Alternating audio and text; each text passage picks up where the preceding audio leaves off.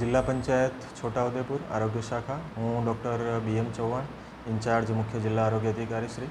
આપને જણાવવા માગું છું કે આગામી દિવાળીની સિઝનને ધ્યાને લઈને માની આરડીડી કચેરી તરફથી વીડિયો કોન્ફરન્સ જે કરવામાં આવી હતી, એમાં મળેલ સૂચના મુજબ, આપના જિલ્લાના તમામ ચોવીસ ગુણ્યા સાત પ્રાથમિક આરોગ્ય કેન્દ્ર, તેમજ સામૂહિક આરોગ્ય કેન્દ્ર, તેમજ જિલ્લા કક્ષાની હોસ્પિટલ ખાતે દિવાળીના જે રજાઓ છે દરમિયાન ઇમરજન્સી સેવાઓ અને તાત્કાલિક સારવાર માટેની સેવાઓ ખોરવાય નહીં, એ અંગે તમામને સૂચનાઓ પરિપત્રિત કરવામાં આવી છે.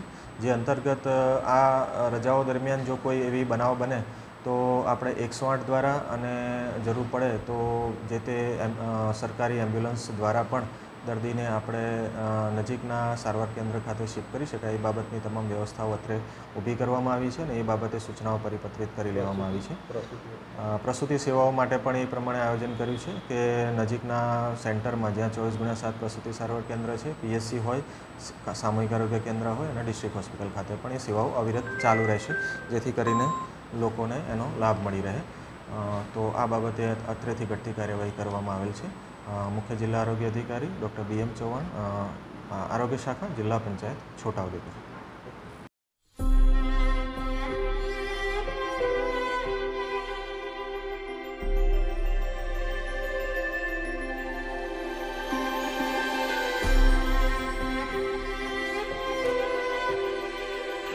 છોટાઉદેપુર સહિત રાજ્ય, દેશ અને દુનિયાના સમાચાર જોવા માટે સબસ્ક્રાઇબ કરો તીર સમાચાર અને બેલ આઇકોન જરૂર દબાવો.